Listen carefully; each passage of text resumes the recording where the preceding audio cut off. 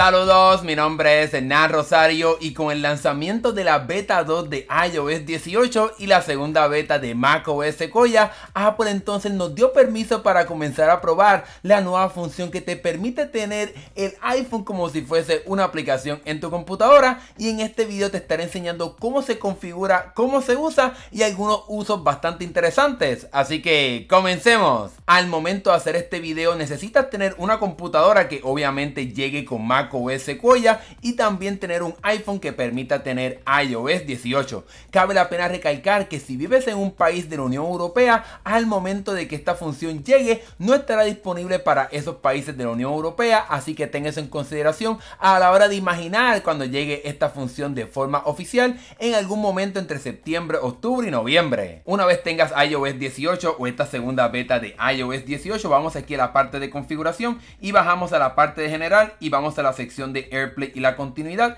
Y aquí lo más importante es que vayas a la parte de duplicación del iPhone y aquí te estarán apareciendo las computadoras y los dispositivos a los cuales te vas a poder conectar desde tu iPhone a tu computadora para que entonces puedas ver la pantalla de tu dispositivo directamente en tu Mac. Bueno, una vez tengas configurado todo esto en el iPhone, también tengas ya actualización en tu computadora, vas a ver que cuando la enciendas por primera vez vas a encontrar aquí esta aplicación de iPhone Mirroring que te permitirá duplicar la pantalla de tu iPhone directamente en tu computadora. Si no la tienes aquí, pues entonces la, estarías encontrando directamente en la carpeta de tus aplicaciones. Vas a bajar hasta encontrar la parte de iPhone Mirroring y ahora lo que tienes que hacer es simplemente tocarla y la primera vez que abras esta aplicación te estará dando la bienvenida diciéndote que puedes acceder a las aplicaciones de tu iPhone, que puedes consultar tus notificaciones, algo que te estaré explicando en breve y que no tienes que preocuparte para poder pasar documentos usando AirDrop, sino que simplemente puedes arrastrarlos a tu iPhone, aunque esto estará llegando luego de que llegue oficialmente esta versión de macOS Sequoia. Por ahora eso no está funcionando. Una vez le des aquí al botón de continuar, te estará dando la información de que tienes que desbloquear tu teléfono. Voy a estar escribiendo aquí mi código para poder entonces desbloquearlo, porque de esa manera estás dando como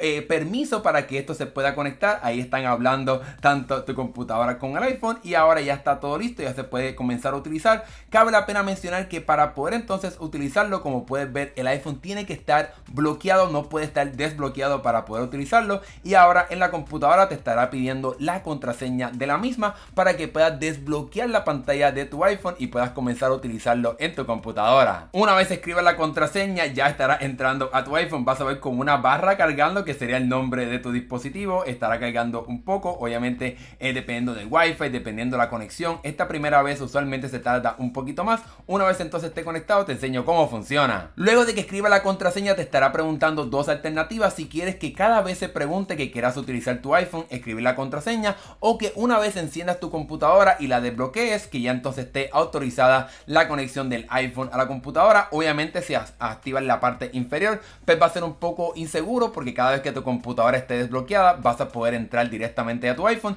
Obviamente aquí toma la decisión que tú quieras tomar dependiendo de cuán seguro quieras estar. Luego de que entre la contraseña y todo esto, ya ahora aquí tengo acceso a mi iPhone y me puedo mover de un lado a otro utilizando el trackpad de la computadora. Puedo moverme hacia la pantalla de la derecha, pantalla de la izquierda, puedo simplemente abrir cualquier aplicación, vamos a abrir aquí la parte de música y tengo acceso a la aplicación, puedo aquí tocar los botones, los diferentes botones dentro de la aplicación, incluso cuando le dé aquí el botón de buscar, en la parte de escribir, muevo aquí el ratón y puedo comenzar a escribir, vamos a buscar aquí Bad Bunny. Y estoy utilizando el teclado de la computadora sin ningún problema, puedo seleccionar aquí el texto, puedo borrarlo sin ningún problema, puedo como dice copiarlo utilizando los diferentes comandos, pegarlo aquí, realmente puedes utilizarlo como si fuese tu computadora, pero realmente estás utilizando la aplicación del iPhone. Una vez, por ejemplo, termines con esta aplicación, simplemente puedes tocar aquí el botoncito de inicio y ahí estarás yendo a la pantalla de inicio de tu iPhone. Sin embargo, hay un truco bien importante y es que cuando vas aquí a la parte superior, aquí es donde entonces vas a poder mover esta aplicación del iPhone como si fuese una aplicación tradicional de tu computadora. Y digamos que, por ejemplo, estás otra vez en la parte de música, te mueves aquí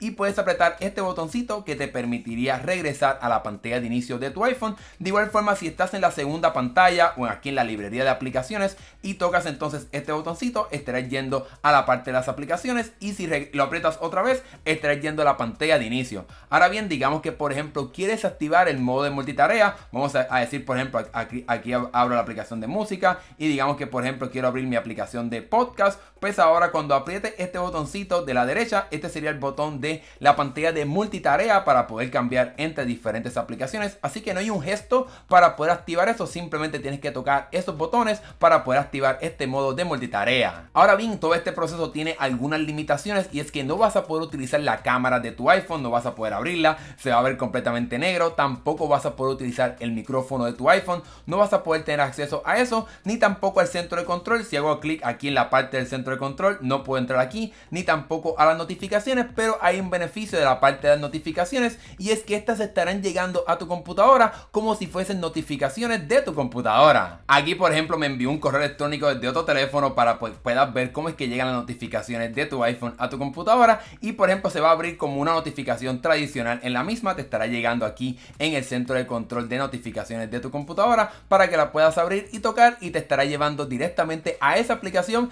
en la aplicación de tu iPhone. Ahora bien, digamos que por ejemplo tienes una aplicación que está bloqueada con Face ID, vamos aquí a por ejemplo bloquear la aplicación de música utilizando Face ID para que puedas ver el proceso de cuando por ejemplo una aplicación o un servicio eh, te pide Face ID. Como puedes ver aquí me estará pidiendo la contraseña de mi computadora, simplemente la escribo utilizando Touch ID también. Vamos a darle aquí listo y vamos ahora a abrir la aplicación de Apple Music y me estará pidiendo Face ID o Touch ID. Simplemente toco el dedo aquí en mi sensor de Touch ID o lo escribo aquí en la computadora para poder acceder a esa aplicación. Como típica aplicación de computadora vas a poder utilizar diferentes comandos del teclado para hacer diferentes acciones en esta aplicación y si aprieto comando 1 estaré yendo a la pantalla de inicio, la pantalla principal. Si aprieto comando 2 me estará llevando al modo de multitarea y si por ejemplo estoy aquí en esta pantalla de inicio y aprieto comando 3 me estará llevando aquí a la parte de Spotlight de hacer cualquier búsqueda, de abrir aplicaciones, etcétera. Así que puedes también utilizar comandos del teclado para ser más productivo en esta aplicación. Como puedes ver aquí, cuando el iPhone esté bloqueado y esté conectado a tu computadora, te estará apareciendo una alerta en la cual te estará diciendo que el iPhone está en uso utilizándolo en la computadora para que sepas qué está pasando en tu dispositivo a la hora de utilizar este servicio en tu computadora. Pero bueno, luego de mostrarte esta función, ¿qué tan útil realmente puede ser? Bueno, para mí sería sumamente útil para cuando, por ejemplo,